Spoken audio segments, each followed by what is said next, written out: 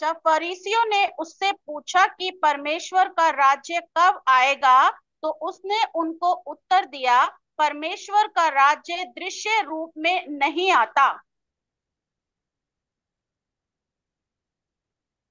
हमारे प्रेमी स्वर्गीय पिता, परमेश्वर आपके चरणों में हम लोग आए हैं। बहुत धन्यवाद करते हैं प्रभु यीशु, क्योंकि यहाँ तक आपने हम लोग को पहुँचाया जीवन की लंबी यात्रा में। आज शाम का समय परमेश्वर पिता आपकी ओर से मिला है। इस पर आशीष दीजिए। हम लोग आखिरी समय से गुजरे जाते हैं। हम लोग की आवश्यकता आप जानते हैं। इसलिए विनती करते हैं, हमारे लिए आपकी ओर से जो संदेश है, आप अपने आत्मा के द्वारा दीजिए। हमारी विनती है कि विचार और शब्द वो भी आपकी ओर से दीजिए और हम लोगों को समझने वाला मन दीजिए। सो, विनती सुनिए, धन्यवाद ग्रहण कीजिए। प्रभु यीशु के नाम के द्वारा से, आमीन। तो प्यारे भाई बहनों हम लोग आज फिर इकट्ठे हुए हैं। प्रभु यीशु मसीह अपने प्रभु के आने के बारे में चर्चा करने और परमेश्वर का राज जो चला आ रहा है, उसके बारे में भी। तो प्रभु हमारी सहायता करेंगे। अब हमने क्या पढ़ा? फरीसियों ने क्या पूछा? प्रभु से? फरीसियों ने पूछा परमेश्वर का राज कब आएगा? हम्म, ये चीज़ है। तो हमारे प्रभु ने बताया कि परमेश्वर का राज ऐसे प्रकट में नहीं आता है। परमेश्वर का राज तुम्हारे अंदर है। इसका मतलब इसका मतलब ये कि पहले तो परमेश्वर का राज हमारे अंदर या मनुष्य के अंदर आना चाहिए। हाँ ये चीज़ है। तब हमारे समझ में आएगा फिर बाकी बातें बताने के लिए क्योंकि बड़ा भेद है। है ना? आप जानते ना, बाइबल भेदों की किताब है। तो पहले परमेश्वर का राज हमारे अंदर आना चाहिए, हमारे जीवन में आना चाहिए। अच्छा एक और आदमी को देखते हैं। आइए, योहन्ना तीन में आइए।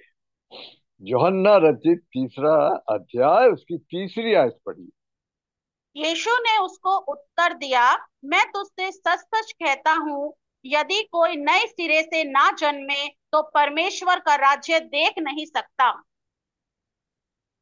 आ तो ये क्यों आया था रात में? ये निकोदिमस यहूदियों का गुरु रात में क्या पूछने आया था? इसके पहले कि वो पूछे, परमेश्वर जानता था क्यों आया। है वो पूछने आया था कि परमेश्वर के राज में कोई कैसे जा सकता है? इसका जवाब हमारे प्रभु ने दिया, अल्ले से मैन बी बोर्ड अगेन जब तक कोई आदमी नए सिरे से या फिर से जन्म नहीं लेता है तो परमेश्वर के राज को देख भी नहीं सकता है और उसमें जा भी नहीं सकता है। पांचवी आयत पढ़िए, योहन्ना तीन का पाँच। यीशु ने उत्तर दिया, मैं तुझसे सच सच कहता हूँ, जब तक कोई मनुष्य जल और आत्मा से ना जन्मे तो वह परमेश्वर के राज्य में प्रवेश नहीं कर सकता। तो कितना इम्पोर्टेंट है ना? हाँ ये देखा अब पता रहेगा तो याद रखिए, परमेश्वर का राज तो पक्का है, परमेश्वर का वचन बता रहा है। परमेश्वर का राज आएगा। और क्या होगा? दुनिया के सब राज खत्म होंगे। हाँ तो यहाँ पर प्रभु ने बताया परमेश्वर के राज में एंट्री कैसे होगी? वो नए जन्म के द्वारा होगी। है ना? पहली बात तो ये। दूसरी बात ये कि परमेश्वर के राज में अगर किसी मनुष्य को जो पापी दशा में है, जो उद्धार नहीं पाया है, जो नया जन्म नहीं पाया है, उसको अगर वहाँ पहुँचा भी दिया जाए तो क्या वो वहाँ टिकेगा? क्या वो उसको अच्छा लगेगा? नहीं, वो तो धर्मराज में भी वही करेगा। बाइबल में लिखा है कि अगर किसी को वहाँ परमेश्वर पहुँचा भी देता है तो क्या होगा? वो वहाँ भी वही करेगा। आप देखिए यशैया नबी में आते हैं। यशैया नबी का छब्बीसवा अध्याय उसकी दसवीं आयत पढ़िए। यशैया छब्बीस हाँ यस दुष्ट पर चाहे दया भी की जाए तो भी वह धर्म को ना सीखेगा। धर्म राज्य में भी वह कुटिलता करेगा और यहोवा का महात्म्य में उसे सूझ ना पड़ेगा। देखा आपने? जब तक आदमी का नया जन्म नहीं होता है वो वहाँ फिट नहीं होगा। अशरा अब शराबी अगर चला गया मान लीजिए। उसका शराब नहीं छूटा है, उसका नशा नहीं छूटा है, वो वहाँ चला गया। वहाँ क्या करेगा? वहाँ भी शराब नहीं ढूंढेगा क्या? ढूंढेगा।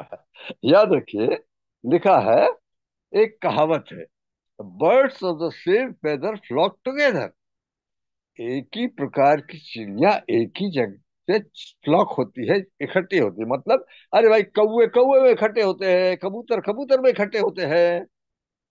हाँ? आपको मालूम लंदन में लंदन में एक नदी बहती थी थेम्स नदी, अभी भी बहती है, वो लंदन शहर के बीच में से बहती है। तो क्या हुआ? कुछ लोग स्टीमर में वो चढ़ के जा रहे थे। अभी किनारे से छूटा नहीं थी। स्टीमर अभी किनारे से नहीं छूटा था। एक आदमी दौड़ते दौड़ते आया, अरे भैया, ठहरो ठहरो, मेरे को भी ले लो। अच्छा उसको ले तो लिया। स्टीमर में। फिर वो क्या देखता है?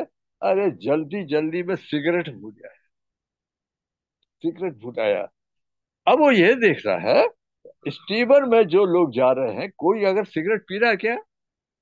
तो उससे जाके वो रिक्वेस्ट कर सकता था, क्योंकि उसको तलब लगी है। सिगरेट पीने की तलब है उसको। मैं क्या देखता? अरे कोई सिगरेट नहीं पी रहा। है फिर उसने ये देखा कि यार, ये लोग तो कुछ फ़र्क टाइप के लोग मालूम पड़ रहे हैं।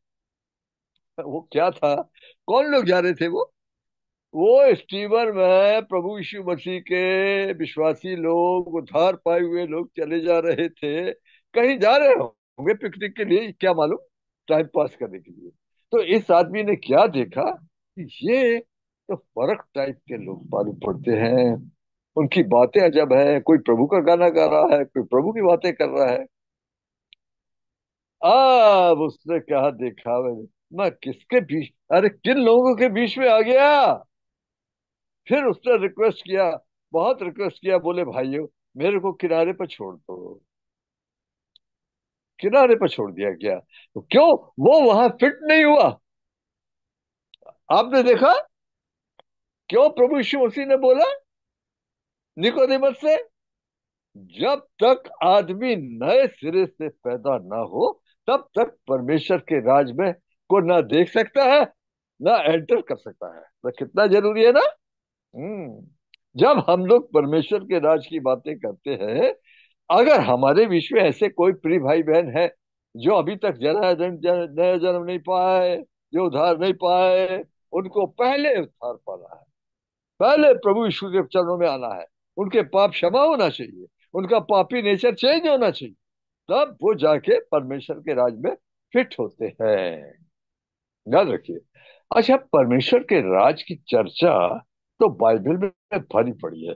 हमारे प्रभु ने जब जब चेलों ने बोला, हम लोग प्रभु चेलों ने बोला, हम लोग को प्रभु प्रार्थना करना सिखाइए, जो मत्ती छह में आता है, प्रभु ने क्या बोला, जब तुम प्रार्थना करो तो ऐसा बोलना, हे हमारे पिता, तू स्वर्ग में है, तेरा नाम पवित्र माना जाए, तेरे, तेरी इच्छा पूरी हो, तेरा राज आए। हाँ तेरा राज आए। आ रहा है। अभी किसका राज है? अगर हम बोले कि भाई अभी किसका राज? कौन कर रहा है?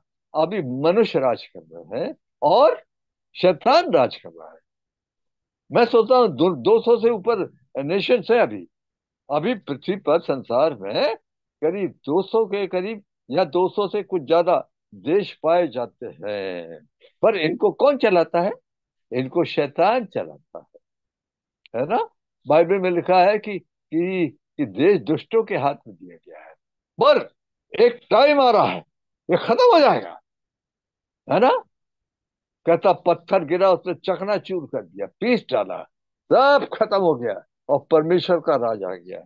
अच्छा वो तो ठीक है। हम लोग इन दिनों में क्या पूछ रहे और प्रभु के लोग भविष्यवाणियों को पूरा होते देख रहे हैं। उनके मन में क्या सवाल आ रहा है? उनके मन में सवाल आ रहा है, अरे कब परमेश्वर का राज आएगा?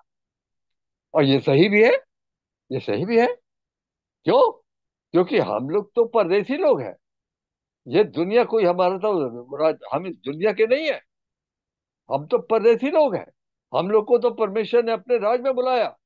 तो इसलिए प्रभु के लोग दुनिया में हैं। उनका धन्यवाद हो प्रभु का ऐसे लोगों के लिए, जो बड़ी लालसा से ये जाना मांगते हैं।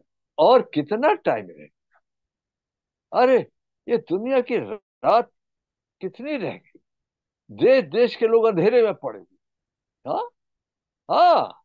अब देखिए, वो पूछ रहे कितना टाइम रह गया यशैया इक्कीस का ग्यारह बारह पढ़ दीजिए Isaiah chapter twenty one verse eleven and twelve Dumah के विषय भारी वचन, शेर में से कोई मुझे पुकार रहा है हे पहरुए, रात का क्या समाचार है? हे पहरुए, रात की क्या खबर है? पहरुए ने कहा, भोर होती है और रात भी। यदि तुम पूछना चाहते हो तो पूछो, फिर लौट कर आना। और ये कौन लोग पूछ रहे दुनिया के लोग तो दुनिया में मस्त है।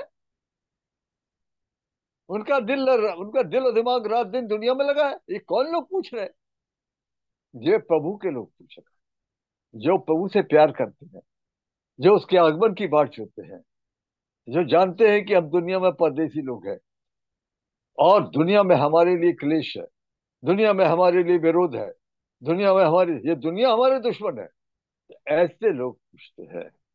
लिखा, जितने लोग धार्मिकता से जीना मांगते हैं इस दुनिया में, वो सब सताए जाएँगे। ये दुनिया नहीं है। तो ये पूछ रहे हैं। तो अब हम लोग ये जानना मांगते क्या परमेश्वर ने, क्या प्रभु यीशु ने ये बात बताया कि कब आए? परमेश्वर का राज कब आएगा? क्या ये बात बताया है? हाँ बताया है। आइए, कहा देखे? कहा बताया? मरकुस नौवे अध्याय में आइए। मरकुस नौवा अध्याय, एक, दो, तीन। उसने उनसे कहा मैं तुमसे सच कहता हूँ कि जो यहाँ खड़े हैं, उनमें से कोई कोई ऐसे हैं कि जब तक परमेश्वर के राज्य को सामर्थ्य सहित आया हुआ ना देख लें, तब तक मृत्यु का स्वाद कदाचित ना चखेंगे। छह दिन के बाद यीशु ने पतरस और याकूब और योहन्ना को साथ लिया और एकांत में किसी ऊँचे पहाड़ पर ले गया। वहाँ उनके सामने उसका रूप बदल गया। और उसका वस्त्र ऐसे चमकने लगा कि यहाँ तक उज्जवल हुआ कि पृथ्वी पर कोई धोबी भी वैसा उज्जवल नहीं कर सकता। अब याद रखिए, ये तो हम जानते हैं कि जब प्रभु यीशु दुनिया में आए थे, मनुष्य बन के, दास बन के तो जो जो बोला और जो जो किया, उसके पीछे बड़े भेद छुपे हैं। है ना? काय के भेद छुपे? अरे परमेश्वर के राज के भेद छुपे हैं। आप जानते ना, मरकुस तेरह में प्रभु यीशु मसीह ने सात पैरेबल बोली। सात दृष्टांत जब चेलों ने बोला कि, प्रभु, आप दृष्टांतों में लोगों से काय बोलते हो? क्या बोला प्रभु ने? अरे भाई, वो सुनते हुए भी नहीं सुन। वो देखते हुए भी नहीं देख आप देखिए। मत्ती तेरह का ग्यारह पढ़िए। मत्ती तेरह की ग्यारहवीं आयत उसने उत्तर दिया तुमको स्वर्ग के राज्यों की भेदों की समझ दी गई है पर उनको नहीं।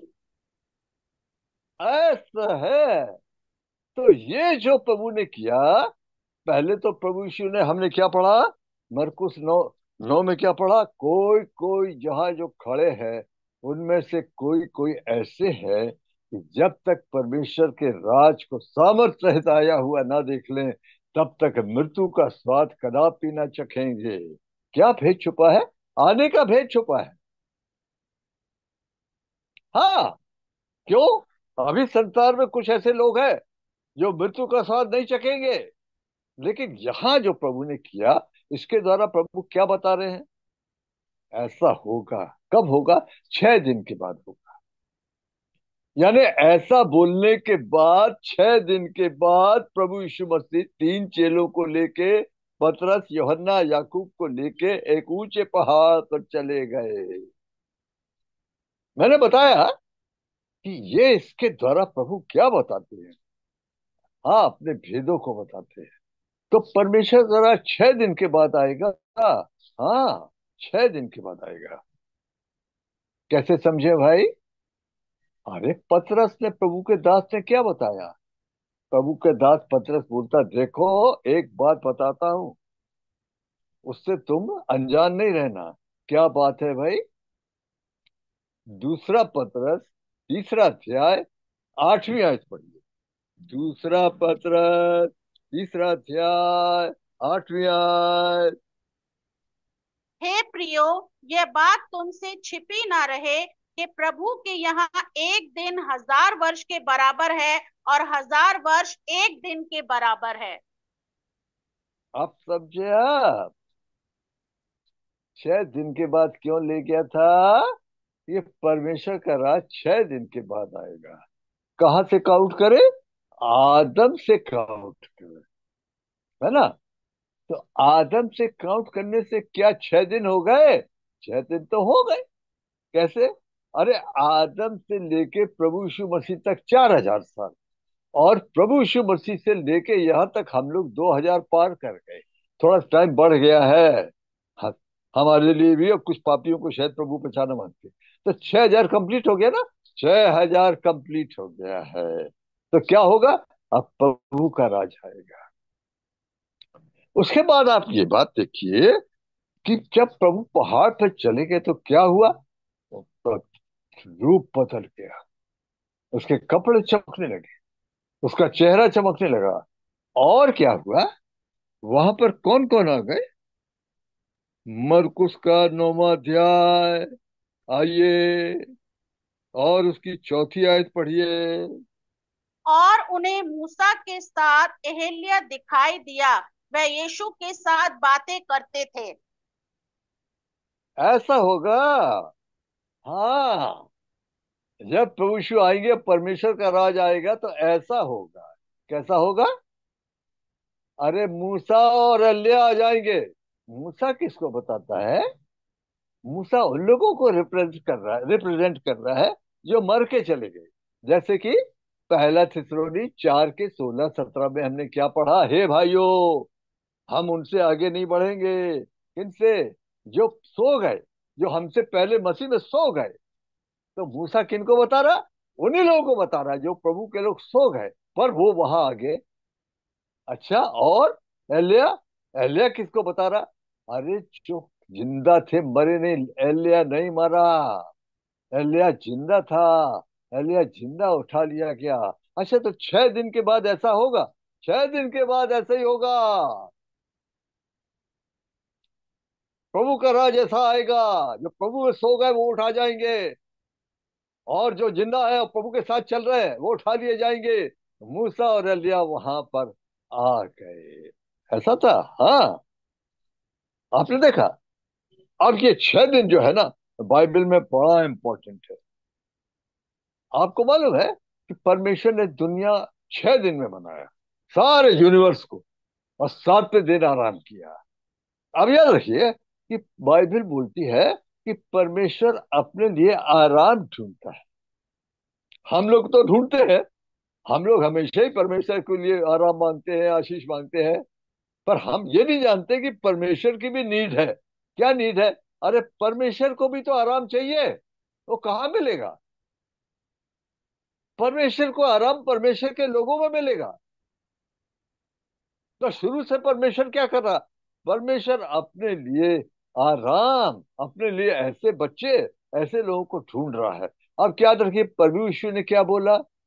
अरे, मेरे को तो सिर रखने की चीज़ें नहीं। हाँ? आप देखिए, मत्ती आठ का बीस पढ़िए। मत्ती आठवां अध्याय, उसकी बीसवीं आयत पढ़िए।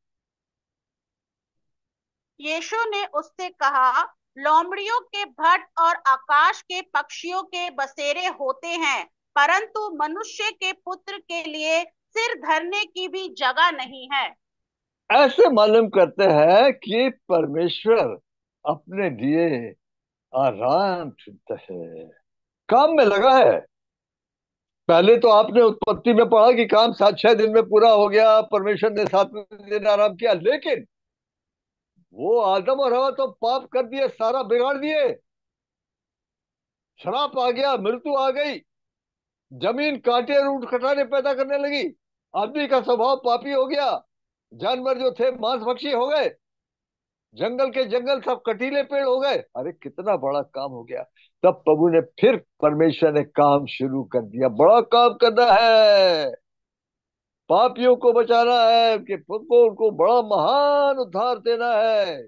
मेरा पिता काम करता और मैं भी काम करता हूँ। क्या लिखा?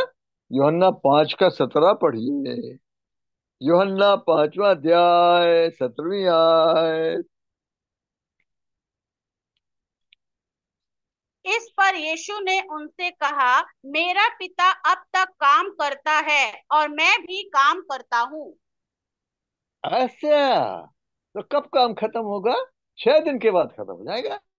तो छह दिन के बाद राज आ जाएगा और छह दिन के बाद, छह दिन के बाद परमेश्वर का विश्राम आ जाएगा। और हम लोग हम लोग भी उसी विश्राम में प्रवेश कर जाएँगे, पर यत्न करना पड़ेगा यार। छूट जाने का खतरा है। प्रभु ने बोला, यहाँ जो खड़े हैं, मरकुस नौ में क्या पढ़ा? यहाँ जो खड़े हैं, उनमें से कोई कोई। याद रखे, उसके लिए योग्यता चाहिए। परमेश्वर के राज में जाकर उसके सामने खड़े होने के लिए योग्यता चाहिए। हम उद्धार की बात नहीं कर रहे हैं। हम लोग तो इन दिनों में परमेश्वर के राज के आने की और प्रभु यीशु मसीह के आने की बात कर रहे हैं। उसी के लगाव में हम बातें करते हैं। आप देखिए, इब्रानी चार की पहली आयत पढ़िए। इब्रानियों की पत्री चौथा अध्याय पहली आयत इसलिए जबकि उसके विश्राम में प्रवेश करने की प्रतिज्ञा अब तक है तो हमें डरना चाहिए। ऐसा ना हो कि तुम में से कोई जन उससे वंचित रह जाए। अच्छा याद रखिए एक विश्राम तो परमेश्वर पापी को ऐसे ही देते हैं। मत्ती ग्यारह अट्ठाईस में प्रभु यीशु मसीह ने बोला अय बोझ से दबे लोगों, परिश्रम करने वाले लोगों, मेरे पास आओ, मैं तुमको आज विश्राम दूँगा। अच्छा ठीक है। मैं भी आया और बहुत से लोग आए अपने पापों को लेके। जब आए तो पता लगा, अरे, प्रभु यीशु ने सब उठा लिया। मेरे लिए जितना दुख सहा प्रभु, आराम मिल अच्छा वो आराम की बात नहीं कर रहे हैं। अब ये आराम की बात हो रही है। उसमें तो विश्वास करके हम आ गए, पर ये आराम जो छह दिन के बाद आ रहा है इसमें प्रवेश करने के लिए यत्न करना पड़ेगा। हम्म, इब्रानी चार की आप ग्यारहवीं आयत पढ़िए। अतः हम उस विश्राम में प्रवेश करने का प्रयत्न करें। ऐसा ना हो कि कोई जन उनके समान आज्ञा ना मानकर गिर पड़े। हाँ कोई जन चूक सकता है। अगर हम अपना काम पूरा नहीं करते, क्योंकि हम लोग को सबको कुछ ना कुछ काम दिया गया, याद रखिए, हम लोग उद्धार पाके खाली बैठे रहने के लिए नहीं बनाए बचाए गए हम लोग को परमेश्वर के राज के लगाव में कुछ ना कुछ काम दिया गया है। और ये भी नहीं समझिए आप कि जो पुलपिट पर से बोलते हैं ना, वही है, उन्हीं को काम है। नहीं, हर विश्वासी को काम दिया गया। तो विश्राम में अगर प्रवेश करना, परमेश्वर के राज में अगर जाना है तो हमें अपना काम पूरा करना होगा ना। दसवीं आयत में क्या लिखा है? इब्रानी चार उसकी दसवीं आयत पढ़िए। क्योंकि क्योंकि जिसने उसके विश्राम में प्रवेश किया है उसने भी परमेश्वर के समान अपने कामों को पूरा करके विश्राम किया है। और याद रखिए हम इन दिनों में बात कर रहे हैं जब हम देख रहे हैं कि अरे! रात चला आ रहा प्रभु का! तो हमको सावधान नहीं होना चाहिए। कहता डरते और कांपते हुए काम पूरा करो। अरे भाई, उद्धार का काम नरक से तो बच गए, ठीक बात है। लेकिन अभी प्रभु के राज में जाना, उसके सामने खड़े होना है। उसके लिए लियाकत चाहिए, उसके लिए योग्यता चाहिए। आप देखिए फिलिपियों की पत्री, दूसरा अध्याय, बारहवीं आयत पढ़िए। फिलिपी दो का बारह पढ़िए।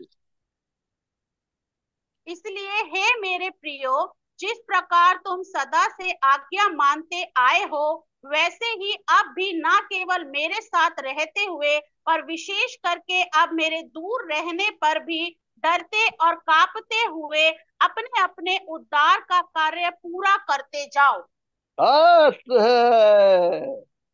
शायद मैंने आपको बताया छह हज़ार तो हो गए। छह हज़ार से ऊपर हो गए चौबीस साल हो गए। थोड़े समय के बाद पच्चीस हो जाएगा अगर प्रभु नहीं आते हैं तो, तो ये एक्सटेंडेड टाइम ये आ, ये टाइम बढ़ क्यों रहा है? कुछ लोग बोलते हैं, अरे, देरी हो रही। ये नहीं, मेरा पॉइंट ये है कि छह हज़ार छह दिन तो हो गए उस हिसाब से तो टाइम बढ़ क्यों रहा है?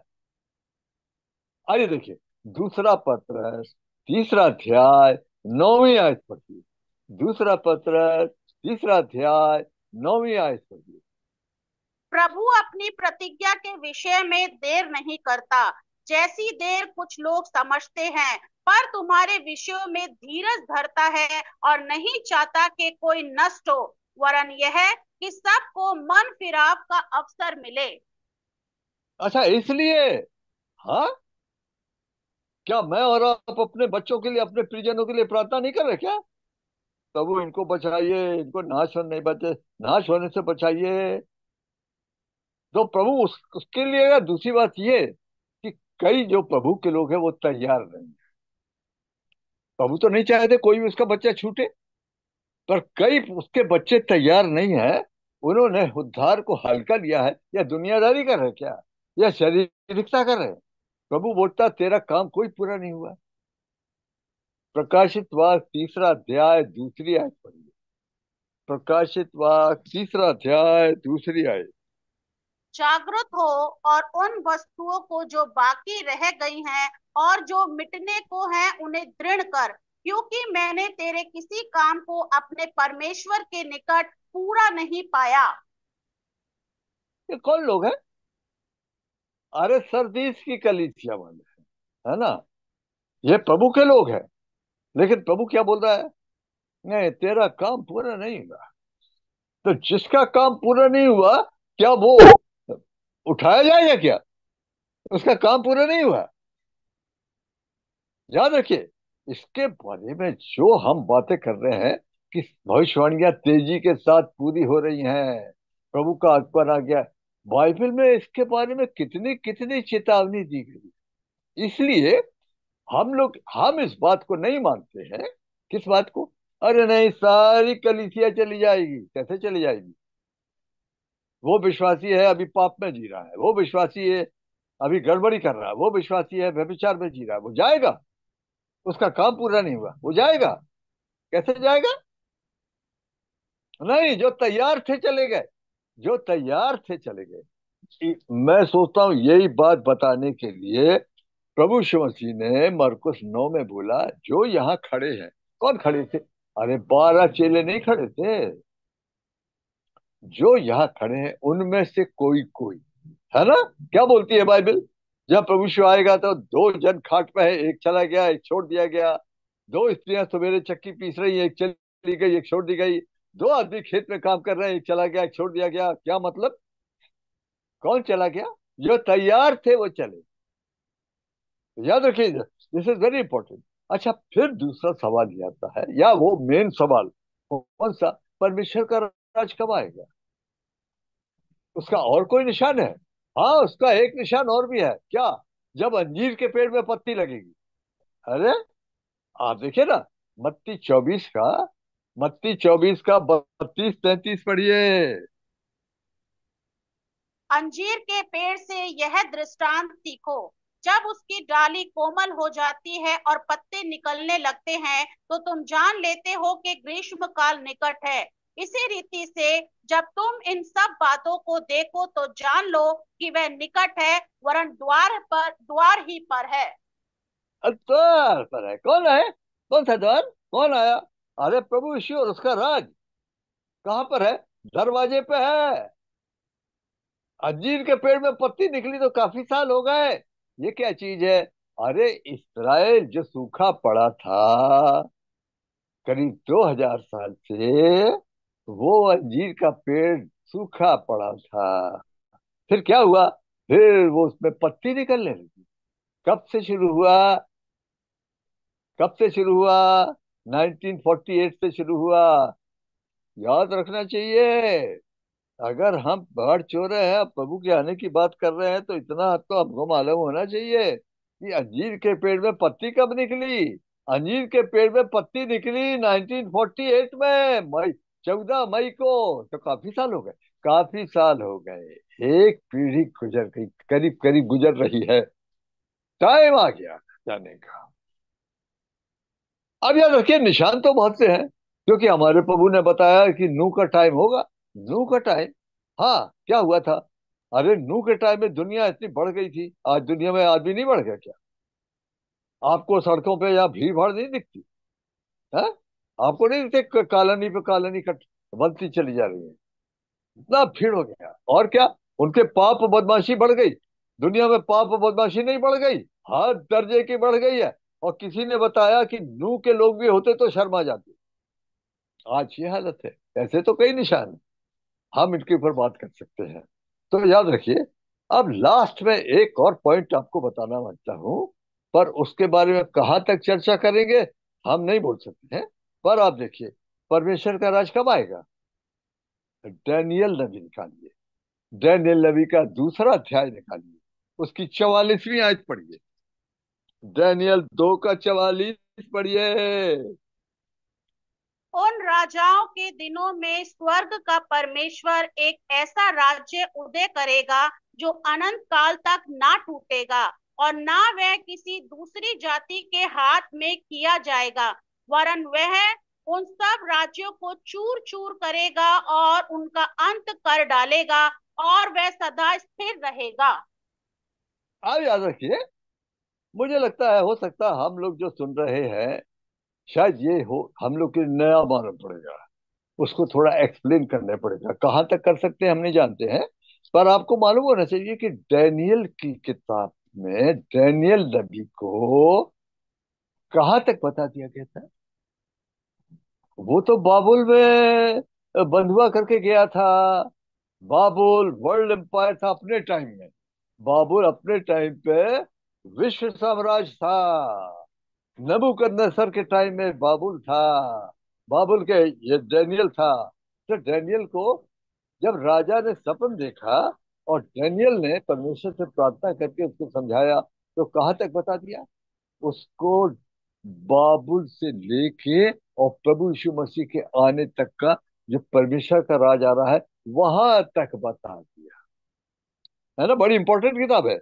किसी ने बोला कि डैनियल और रेवलेशन और प्रकाशित वाक्य दोनों भविष्य के हिसाब से बहुत इंपॉर्टेंट किताबें हैं। याद रखिए। तो कहाँ से कहाँ तक बताया? अरे तो राजा ने क्या देखा था? सपने में पर भूल गया था। पर यह ज़रूर था कि बड़ा अजीब सपना देखा मैं डैनियल ने बताया, तूने देखा मूरत, बड़ी भारी मूरत, अरे मूरत, सोने की, उसका सिर सोने का था।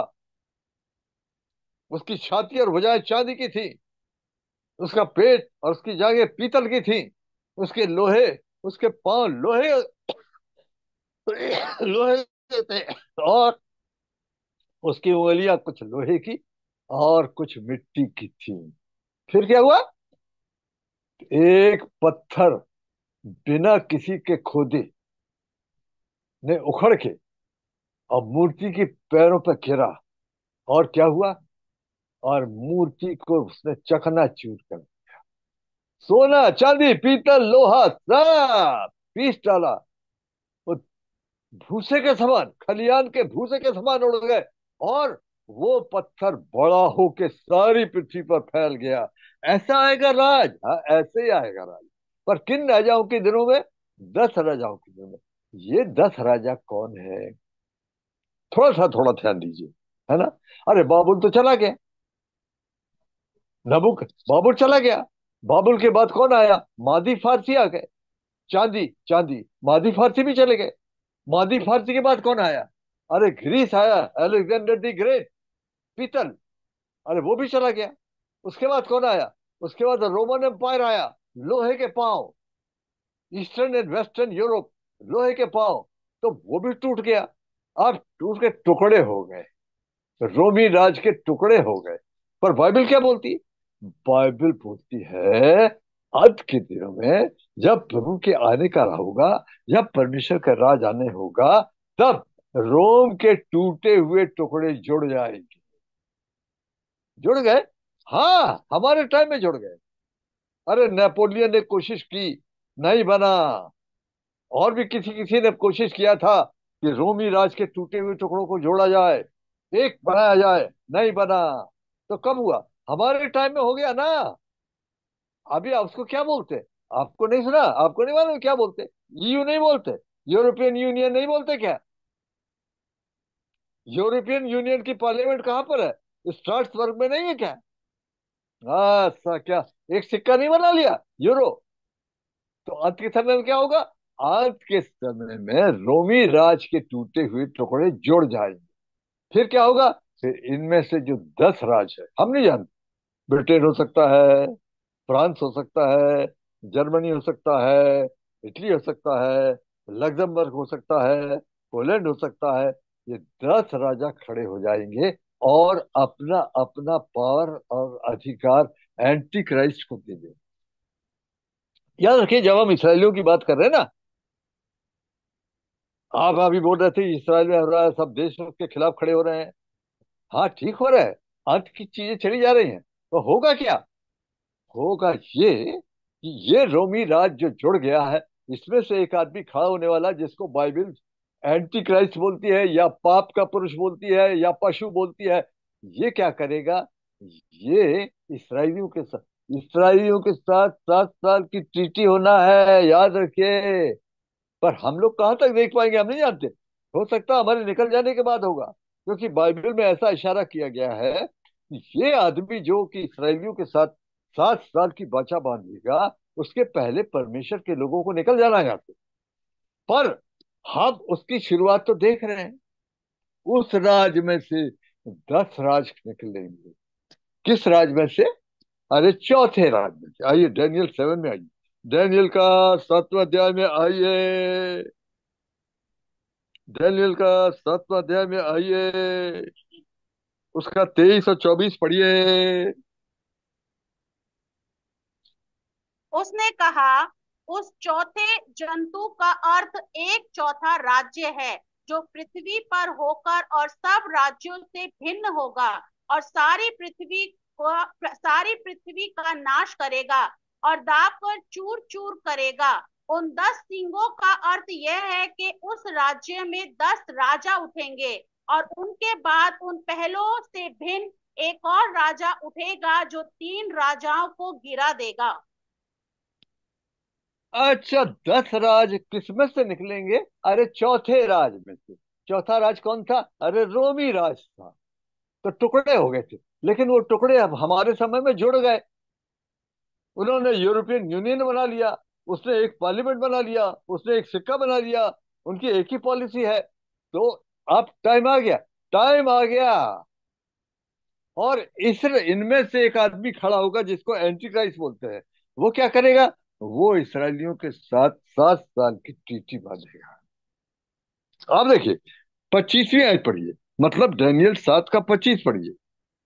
और वह परम प्रधान के विरुद्ध बातें कहेगा और परम प्रधान के पवित्र लोगों को पीस डालेगा और समय और व्यवस्था को बदल देने की आशा करेगा। वरन साढ़े तीन काल तक वह सब उसके वश में कर दिए जाएँगे। ऐसा है। अच्छा तो मैंने बोला कि डेनियल और प्रकाशित वाक में अंत के बारे में बताया गया। परमेश्वर का राज कब आएगा? हमने क्या देखा? हमने देखा डेनियल दो के चवालीस में, उन राजाओं के दिनों में परमेश्वर एक राज खड़ा करेगा, जो बाकी सब राज्यों को चूर चूर कर देगा, और वो युगान युग बने रहेगा। वो है परमेश्वर का राज। जिन राजाओं के दिनों में अरे, रोम के अंदर से जो टूटे टुकड़े हैं, जुड़ जाएँगे, पर उसमें से दस राज खड़े होकर एंटी क्राइस्ट जो खड़ा होने वाला, उसको बोलेंगे, आपको हम पावर देते हैं। अच्छा प्रकाशित वाक सत्रह में आइए। प्रकाशित वाक सत्रह का आप पढ़िए। बारह और तेरह। जो दस सिंह तूने देखे, वह दस राजा हैं। जिन्होंने अब तक राज्य नहीं पाया और उस पशु के साथ घड़ी भर के लिए राजाओं का सा अधिकार पाएँगे। यह सब एक मन होंगे और वे अपनी अपनी सामर्थ्य और अधिकार उस पशु को देंगे। ऐसा देखा आपने? किस राज में से? अरे चौथा राज, रोमी राज लोहे वाला, जिसके टुकड़े हो गए थे। पर टुकड़े हो गए थे, हमारे समय में जुड़ गए। फिर क्या हुआ? इसमें से दस राज खड़े हो जाएँगे, क्योंकि पशु खड़ा होने वाला एंटी क्राइस्ट के बारे में, हे बालको, तुमने सुना? मसीह का विरोधी आने वाला कब से बात हो रही है भाई? फिर ये क्या करेगा? ये इसराइलियों के साथ बच्चा बाँध लेगा। लेकिन ये प्रभु प्रभु के खिलाफ लड़ने को भी आएगा हाँ? प्रकाशित सत्रह का आप पढ़िए, चौदहवीं आए वह मेमने से लड़ेंगे और मेमना उन पर जय पाएगा, क्योंकि वह प्रभुओं का प्रभु और राजाओं का राजा है, और जो बुलाए हुए और चुने हुए और विश्वासी हैं, वह उसके साथ हैं और वह भी जय पाएँगे। हो सकता है कि आप में से कईयों को ये चीज़ नहीं मालूम पड़े, लेकिन आप प्रार्थना करिए। प्रभु, ये समझाइए, क्या चीज़ है ये? आपका राज लिखा है वचन में कि दस राजाओं के टाइम में आपका राज आएगा, क्या वो दस राजा खड़े होने वाले खड़े होने वाले? खड़े होने वाले। और ये आदमी खड़ा होने वाला है। कहाँ से? ये रोम से खड़ा होगा। ये क्या करेगा? ये इसराइलियों के साथ बचा बंधेगा। अभी आपने देख रहे हैं कि इसराइल जो है संकट में है। अभी तो मुसलमान देश उसके खिलाफ खड़े हो रहे हैं। तो आगे चल के बड़ी लड़ैया है। है ना? अमेरिका कब तक मदद करेगा हमको नहीं मालूम। कोई बता रहा है कि अमेरिका में जो जो नवंबर में जो चुनाव होने वाले हैं ना, उसमें जो कमला हैरिस है ना, कमला हैरिस जो है इसराइल की मदद नहीं करेगी। ऐसा? हाँ तो कौन मदद करेगा? अरे, ये आदमी खड़ा होगा ना। ये आदमी क्या करेगा? यही तो सात साल की बाचा बांधे मैं दिलाऊँगा ना राज? गाजा दिलाऊँगा और तुम्हारे लबानन वगैरह दिलाऊँगा।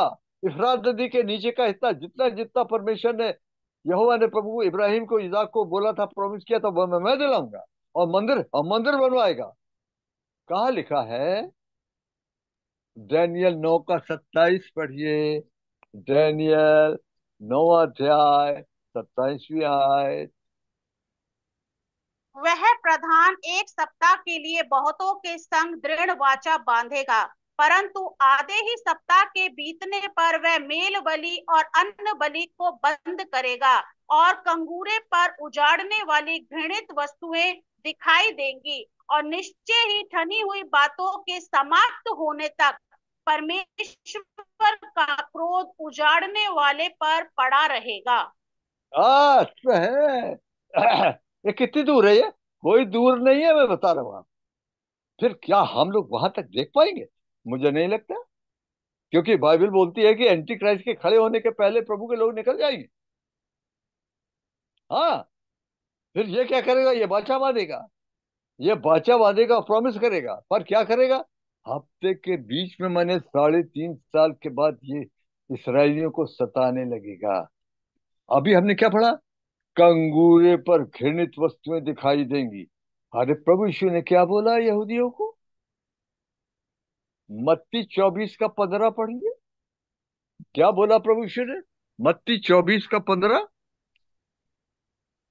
इसलिए जब तुम उस उजाड़ने वाली घृणित वस्तुओं की जिसकी चर्चा दानियल भविष्य दक्ता के द्वारा हुई थी पवित्र स्थान में खड़ी हुई देखो जो पढ़े वह समझे। फिर क्या करना? आगे पढ़िए। तब जो यहूदियों में हो वह पहाड़ों पर भाग जाएँ। घृणित वस्तु क्या है? अरे मूर्त है। किसकी? एंटी क्राइस्ट अपनी मूर्त बना के इनके मंदिर में रखेगा। तब तब इनको समझ में आएगा, अरे ये मसीहा नहीं है, ये तो गलत आदमी है। अब याद रखिए, इसराइलियों को बचना है। इसराइलियों का संकट का समय आ रहा है। इसराइलियों का संकट का समय मुसलमान अरब देशों के द्वारा नहीं होगा। इसराइलियों का संकट का समय एंटी क्राइस्ट के द्वारा होगा, वो हिटलर से भी ज़्यादा मार देगा। इसराइलियों का संकट का समय आ रहा है, आ रहा है। आप देखिए, जरमिया तीस का साथ पढ़िए, हम जल्दी खत्म कर देंगे। जरमिया तीस का साथ पढ़िए। हाय हाय, वह दिन, क्या ही भारी होगा।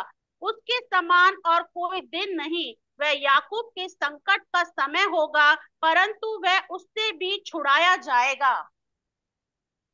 अब याद रखिए, ये इसराइली लोग इनको परमेश्वर 2000 साल के बाद लाया है, क्या ये अभी प्रभु यीशु को मानते हैं?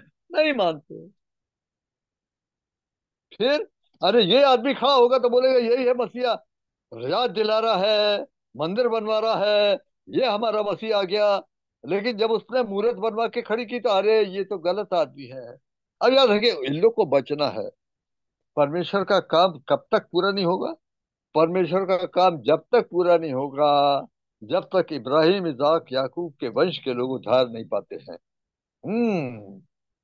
आ, हमारे प्रभु ने क्या बताया? उस समय इतना भारी क्लेश होगा, जब से दुनिया बनी तब से नहीं हुआ। उन लोग के लिए। आप देखिए मत्ती चौबीस का इक्कीस पढ़ी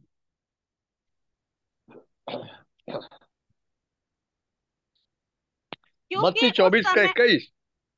क्योंकि उस समय ऐसा भारी कलेश होगा जैसे जगत के आरंभ से ना तो अब तक हुआ और ना तो अब तक हुआ और ना कभी होगा। देखा आपने? जिसको वो मसीहा करके माने थे वो क्या करेगा? मारने लगेगा इनको। हाँ उसका प्लान है सारे यहूदियों को खत्म करो, लेकिन नहीं, वो बचाए जाए। फिर क्या करेंगे? वो रोएँगे, मन फिराएँगे अरे हाय हाय, वही मसीहा था, हम लोगों ने उसको छेदा, हम लोगों ने उसको मार दिया। पापी भी बचता है ना, मन फिराने के बाद बचता है। इसराइली कब उधार पाएँगे? जब मन फिराएँगे कहा लिखा? अरे जकरिया बारह का दस पढ़िए ना। जकरिया बारह का दस। मैं दाऊद के घराने और यरूशलेम के निवासियों पर अपना अनुग्रह करने वाली और प्रार्थना सिखाने वाली आत्मा उंडेलूँगा तब वे मुझे ताकेंगे, अर्थात जिसे उसने भेदा है और उसके लिए ऐसे रोएँगे जैसे इकलौते पुत्र के लिए रोते पीटते हैं और ऐसा भारी शोक करेंगे जैसा पहलौटे के लिए करते हैं। ये है। तब प्रभु जैतून पहाड़ पर उतरेगा, हम लोग के लिए बात नहीं हो रही, उन लोग की बात रही हम लोग के लिए जैतून पहाड़ पर नहीं उतरेगा, हम लोग को बादल पे जाना है। तो मेरा पॉइंट क्या है कि क्या ये चीज़ें आ गई? अगर ये सवाल पूछा जाए, परमेश्वर का राज कब आएगा? तो हमने आज तीन बातों को देखा। क्या? छह दिन के बाद आएगा। फिर क्या देखा? जब अंजीर के पेड़ में पत्ती निकलेगी, तब आएगा। फिर क्या देखा? अरे दस राजा जब एक हो जाएँगे, तब उनके टाइम में आएगा। कौन से राजा? अरे, यूरोप के अंदर से। तो कितना टाइम रहे? हम लोग क्या ये सब देख पाएँगे? नहीं। अरे रेप्चर के बाद की कई भविष्यवाणियाँ पूरा होना है, पर क्या हम लोग वहाँ तक रहेंगे? हम लोग वहाँ तक नहीं रहेंगे पर मेरा पॉइंट यह है, क्या हमको समझ में नहीं आ रहा क्या कि टाइम आ गया? हम लोग निकल जाएँगे।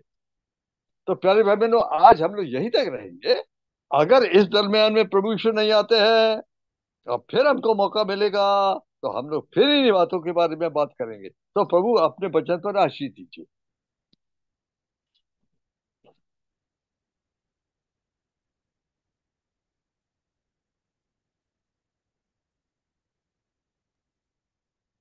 थैंक यू अंकल सुंदर वचन के लिए।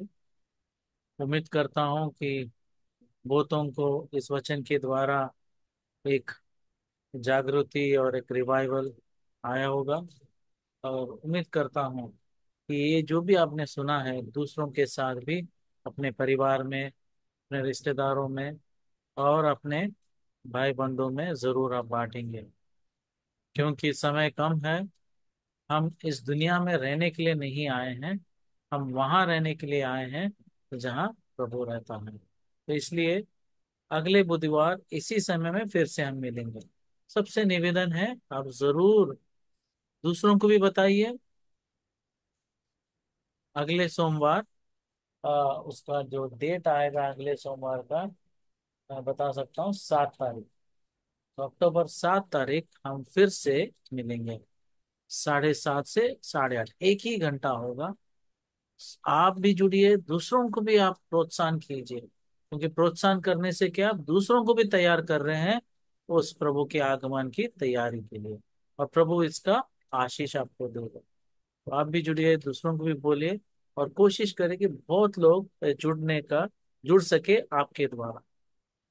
सिर्फ़ ऐसा नहीं कि मैं जुड़ गया तो हो गया मेरा काम। प्रभु इसलिए नहीं रखा है। प्रभु आपको इसलिए इस दुनिया में बचा के रखा है कि आप दूसरों को भी ये संदेश पहुंचाएँ। तो आपका बहुत बड़ा ज़िम्मेदारी बनती है दूसरों को भी जोड़ने का। और किसी को कोई सवाल है इस विषय में तो आप पूछ सकते हैं। हम आपको पाँच मिनट का समय देते हैं। किसी को कोई भी सवाल है तो आप पूछ सकते हैं।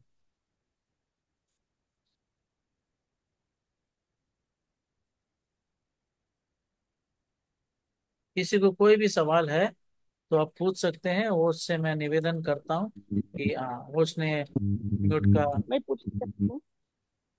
हेलो। हाँ जी। हाँ एंटी क्राइस्ट जब आने वाला है हम्म हम्म, आ, मैं सर से पूछना चाहती हूँ। हाँ हाँ। एंटी क्राइस्ट जब आने वाला है तो म- मन फिराव हो जाएगा लोगों का। हेलो।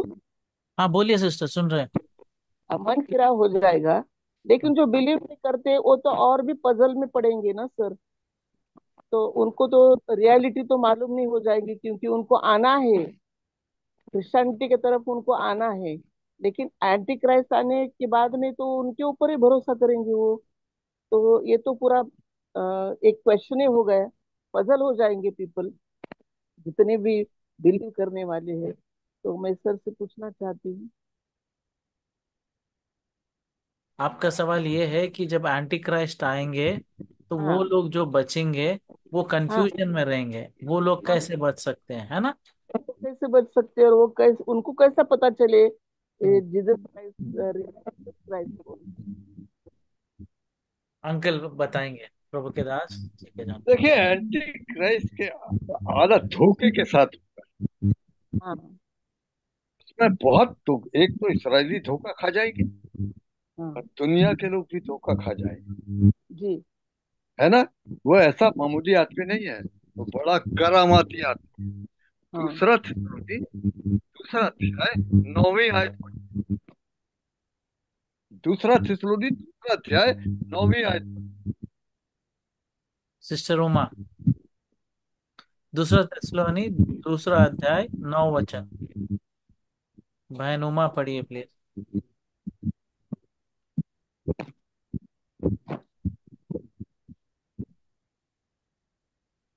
अगर अनम्यूट नहीं कर पा रहे कोई भी पढ़ सकते हैं। दूसरा तेसलोनी दूसरा अध्याय नौ वचन। दूसरा अध्याय नौवीं यस ब्रदर हाँ।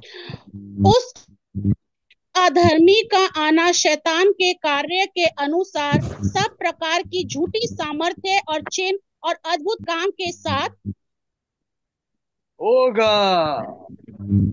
और आगे पढ़िए दसवीं आयत। और नाश होने वालों के लिए आज धर्म के सब प्रकार के धोखे के साथ होगा, क्योंकि उन्होंने सत्य से प्रेम नहीं किया, जिससे उनका उद्धार होता।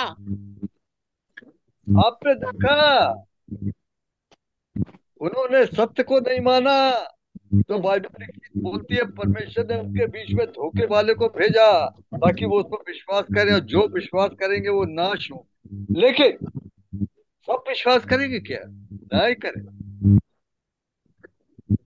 आगे आपने थोड़ा नंबर सिस्टम आ रहा है। एंटी क्राइस्ट क्या करेगा? सबका नंबर लगाओ, पर क्या सब नंबर लेंगे? नंबर सब नहीं लेंगे। उसके टाइम में कई लोग मरने को तैयार हो जाएँगे। कईयों को भागना पड़ेगा। कईयों को अंडरग्राउंड होना पड़ेगा। ये बात आता है। और सब इसराइली ग्रहण करेंगे। सब इसराइली ग्रहण नहीं करेंगे। कई इसराइली शत्रक मेशक और अभिदेगों के समान नहीं मारेंगे भले मर जाना पड़े। मुझे मर जाना बड़ा अच्छा है। इसके कोई एंटी क्राइस्ट की छाप ले। क्योंकि अगर एंटी क्राइस्ट की छाप लिया तो वो सनातन पीड़ा में चला जाए ये होने वाला है। याद रखिए। एंटी क्राइस्ट काफ़ी लोगों को धोखा देगा। इसमें कोई शक नहीं है। लेकिन ऐसा नहीं है कि कभी होगा। क्योंकि प्रकाशित बीस में जब आप जाते हैं ना, चौथी आयत में, आप देखते मैंने उनको भी देखा। इनको, जिन्होंने पशु की छाप नहीं ली थी, ना उसकी मूर्त की पूजा की थी, वो जी उठ कर जी उठ के हज़ार साल तक राज करते रहे। क्या आता है? अब छूटे हुए जो विश्वासी है, वो कहाँ तक जाएँगे? क्या वो नंबर सिस्टम के टाइम तक जाएँगे? या वहाँ तक नहीं जाएँगे? क्योंकि अगर वो नंबर लेते हैं तो बाइबल बोलती है वो नाश हो जाएँगे। पर मैं नहीं समझता हूँ वो परमेश्वर के लोग हैं। इसलिए उसके पहले उनको भी या तो दुनिया से निकल जाना है चाहे तो लड़ाई में मर जाए चाहे भूकंप में मर जाए चाहे बल्बों में मर जाए। इस प्रकार से हो। Thank you thank you sir और सिस्टर इसलिए तो हम ये मीटिंग ऑर्गेनाइज कर रहे हैं ताकि लोग जागृत हो सके और उस एंटी क्राइस्ट आने तक या एंटी क्राइस्ट के समय में हम अपना जीवन ना बिताए। इसलिए तो हम ये मीटिंग ऑर्गेनाइज कर रहे हैं। और आपके पास दो काम है। एक है, आपने आज जो सुना, आप जितनों को भी आपके टच में है, उनको बताइए, ये संदेश, और उनको भी जोड़िए ताकि हमारे तरफ़ से आपके तरफ़ से एक ज़िम्मेदारी पूरी हो जाएगी कि हमने उनको बताया। क्योंकि प्रभु यीशु ज़रूर पूछेगा, आपको जो पता था आपने क्यों उसको नहीं बताया? हमारी तरफ़ से एक ज़िम्मेदारी पूरी हो जाएगी जब ये मीटिंग अटेंड करेंगे तो प्रभु का वचन उनसे बात करेगा और कोई भी धोखा खाने से धोखा खाने से बचना है हर सोमवार हमें जुड़ना है अपने आप को हम जांचना है और जागृत होना और किसी को कोई सवाल है तो आप पूछ सकते हैं। प्रेज लॉर्ड मैं सबसे पहले अंकल का धन्यवाद करती हूँ। मैं आज फ़र्स्ट टाइम जुड़ी हूँ और अचानक से मेरे हार्ट में प्रभु ने डाला और मैं सच में बहुत ब्लेस हुई हूँ। क्योंकि ये मेरा सवाल था कि जो आ, जो एक एक एक काफ़ी समय से मैं वो ढूंढ रही थी कौन होंगे अब क्या अभी भी वो लोग जीवित है? वो मेरा सवाल था और वो अंकल ने जो बोला कि हाँ वो उस टाइम परमेश्वर यीशु ने बोला था कि जो लोग अभी भी जीवित है तो उसमें आपको क्या आपत्ति वो मैं प्रभु का धन्यवाद करती हूँ। आज मुझे वो सवाल का सर्टिफाइड जवाब मिला और मेरा सवाल ये है कि जो एक लाख चौवालीस हज़ार इसराइली लोगों के बारे में बात करा है बाइबल के अंदर जो उल्लेख रखा है वो आ, वो जो अंकल ने बोला कि जो इजरायली लोग बचेंगे और वो जो मन फिराएँगे वो वो है? हाँ। ये आपने जो पूछा ना प्रकाशित सातवें अध्याय में इनकी गिनती दी गई है। हर एक गोत्र में से बारह बारह हज़ार। एक लाख चवालीस हज़ार। ये इसराइलियों में से हैं। जो जैवंत टाइप के लोग बोलेंगे जो एंटी क्राइस्ट के खिलाफ है ये लोग ये परमेश्वर के लोग हैं। ये लोग उठाए जाएँगे ये लोग अनंत जीवन में जाएँगे। लेकिन अगर कोई इसराइली पशु की छाप लेता है तो वो नाश हो जाएगा। के मतलब जो जो जो बात हुई है जो अभी आपने बताया कि जो इजरायली लोग आ, आ, प्रभु मदद करें। जो इजरायली लोग हैं वो वो जो जैसे कि प्रभु के लोग चले जाएँगे फिर बाद में जो एंटी क्राइस्ट आएगा और उसके बाद में जो इजरायली रह गए हैं वो वो लोग हैं है ना? वो एक लाख चौवालीस हज़ार वो वो लोग हैं। ये वो लोग हैं जिन्होंने एंटी क्राइस्ट की छाप नहीं लिया ना उसकी पूजा की। Okay okay okay.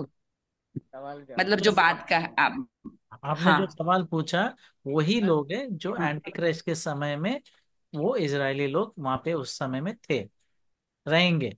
ओ, ओके हाँ, रहेंगे। हाँ बस रहेंगे। मेरा बस बस मेरा एंटी थैंक यू थैंक ये लोग ये लोग एंटी क्राइस्ट को नहीं झुकेंगे और ये बच जाएँगे।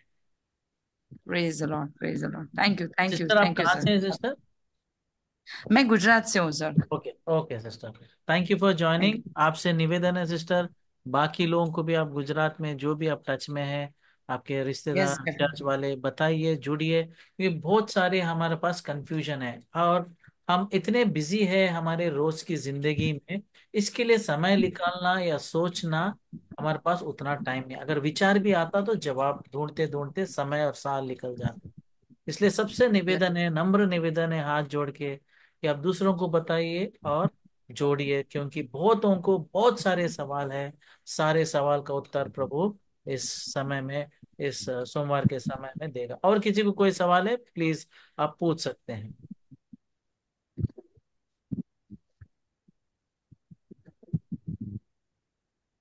पूछिए किसी को कोई सवाल है पूछिए।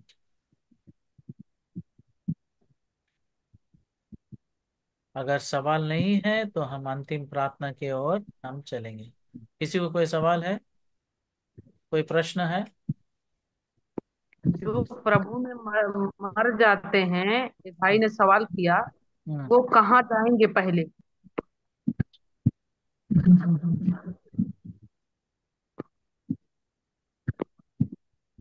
क्या पूछा? एक भाई ने सवाल किया कि जो प्रभु में पहले मर जाएँगे, वो कहाँ जाएँगे? जितने लोग जो हैं, जो पहले ही मर जाते हैं, वो पहले कहाँ जाएँगे?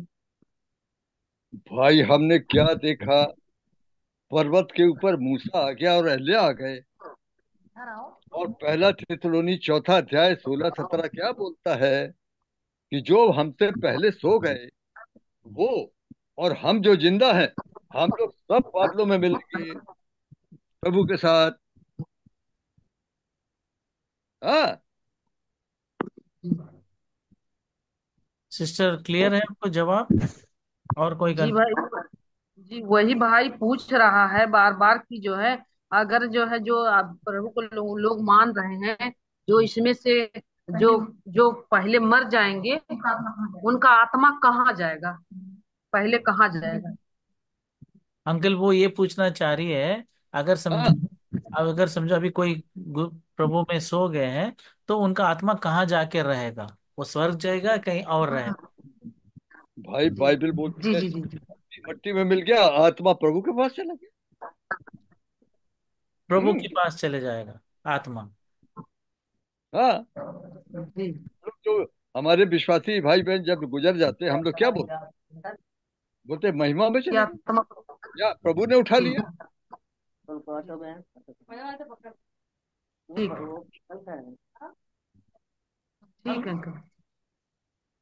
और किसी से बताते हैं। वो हाँ। समझता नहीं। अच्छा ये बात बताते हैं प्रभु के पास जाएँगे तो वो भाई समझता नहीं। कोई बात नहीं ना उनको इसको हमको पूछ करके बताओ। कोई बात नहीं वो भाई को बोलो कि ये मीटिंग में जुड़े। क्योंकि ना सबको सवाल होते हैं।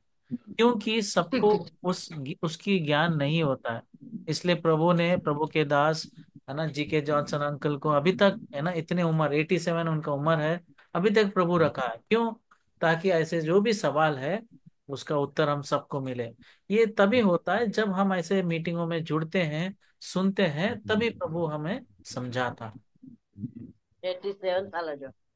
और किसी को कोई सवाल?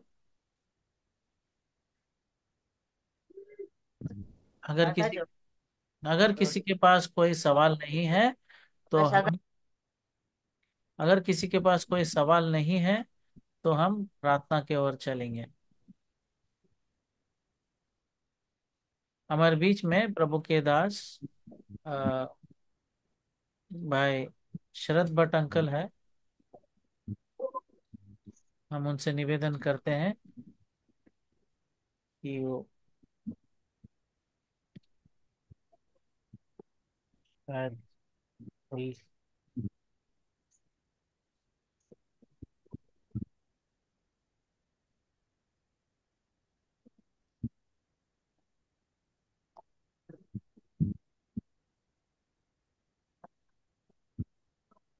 तो मैं निवेदन करता हूँ कि हमारे बीच में भाई यशवंत सिंह है है ना? लगता है शरद भट्ट अंकल निकल गए हैं। तो हमारे बीच में भाई यशवंत सिंह है। वो प्रार्थना करे और बेनेडिक्शन जी के जॉनसन अंकल देंगे।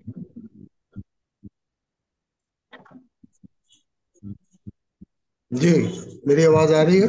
आर्यन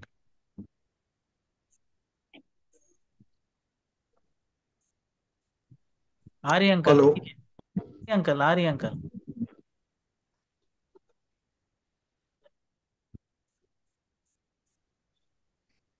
मेरी आवाज़ आ रही है आपको? आ रही है, अंकल। सुनाई दे रहा है।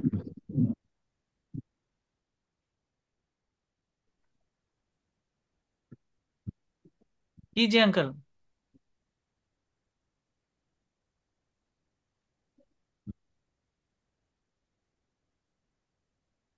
यशवंत अंकल?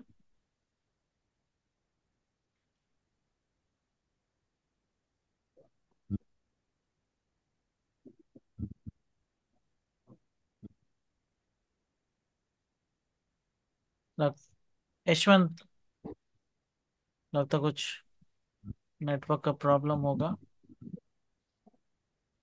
तो मैं निवेदन करता हूँ कि हैरिसन सोलमन अंकल वो प्रार्थना करें और बेनेडिक्शन जी के Johnson uncle Harrison Solomon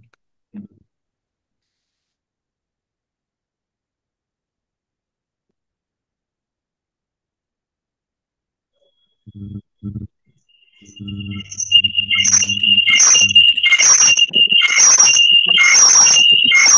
हाँ, मेरी आवाज़ आ रही है डिस्टर्बेंस आ रहा है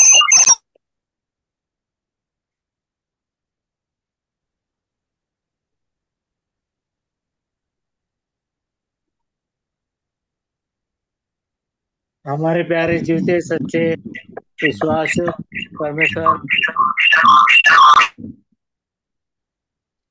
भाई यशवंत शायद ऑनलाइन आए थे अभी।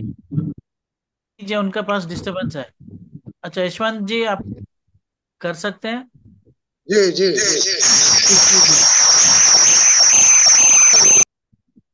डिस्टरबेंस आ रहा है उनका यशवंत। कुछ शायद नेटवर्क प्रॉब्लम है। हैरिसन अंकल आप कीजिए। मेरे प्यारे जीवते सच्चे विश्वास परमेश्वर, इस शाम के समय आपके चरणों में आके आपको धन्यवाद करते, धन्यवाद देते हैं समय के लिए, संगति के लिए, जो आपके दास भाई जी के जॉनसन ने बहुत सुंदर रूप से प्यार पूजी, आपके राज्य के बारे में बताया कि कौन लोग परमेश्वर के राज्य में जा सकते हैं और कैसे पैर पूजी बताया कि पत्रस में, दूसरे पत्रस में, तीसरे और उसके आठवें पद में कि एक दिन एक हज़ार वर्ष के बराबर है। उस तरीके से पैर पूजी हम देख रहे हैं कि पैर पूजी आपका छह हज़ार साल हो गया है और आपका आना बहुत ही निकट है पैर पूजी आपसे विनती है, प्रार्थना है पैर पूजी हमें से हर एक के जैसे आप बातें करें पैर पूजी ताकि हम हर पल हर घड़ी तैयार रहें प्यार पूजी जो हम प्यार पूजी वार को देख रहे हैं इसराइल के प्यार पूजी कैसे प्यार पूजी चारों तरफ़ से घिरा हुआ है प्यार पूजी और इस बीच में एंटी क्राइस्ट खड़ा होगा प्यार पूजी और वो उनको राज देने के वादा करेगा और उनके साथ ट्रीटी करेगा प्यार पूजी और इस तरीके से इसराइली लोग धोखा खाएँगे प्यार पूजी और प्यार पूजी कैसे प्यार पूजी इन सब बातों के द्वारा आप हमको बता रहे हैं कि आपका आना कितना निकट है प्यार पूजी ये सब भविष्यवाणी है प्यार पूजी हम हमारे सामने होते हुए देख रहे हैं प्यार पूजी सो आपसे विनती है, प्रार्थना दयालु प्रभु जी, मुझसे, हमसे, हर एक से आप बातें करें प्यार पूजी और आपके आगमन के लिए प्यार पूजी आप हमको तैयार करें प्यार पूजी बहुत ही विश्वासक बनाए प्यार पूजी आपके साथ साथ चलने वाला जीवन प्यार पूजी पवित्रता और डर, भय के साथ कांपते हुए अपने उद्धार को वर्कआउट करने के लिए, प्यार पूजी आप हमारी सहायता करें, मदद करें। खुदावन प्यार पूजी आपके दास ने जो प्यार पूजी प्रश्नों के जवाब भी दिए, उसके लिए भी धन्यवाद देते हैं। उसके द्वारा प्यार पूजी हमारे जो डाउट है, उसको आपने क्लियर किया। प्यार पूजी आपके आभारी हैं, धन्यवाद हैं, प्यार पूजी और प्यार पूजी छोटी सी विनती, धन्यवाद को उद्धार करता प्रभु यीशु मसीह के नाम में चढ़ाते हैं, इसलिए आप सुने और ग्रहण करें। आमीन।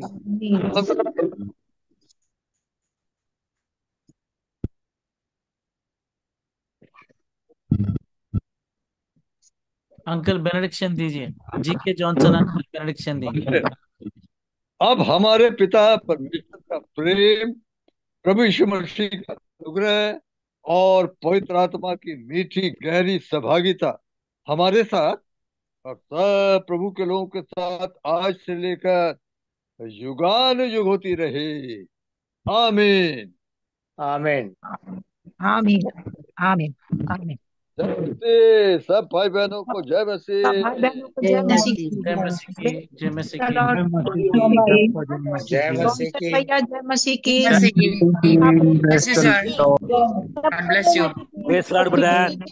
भैया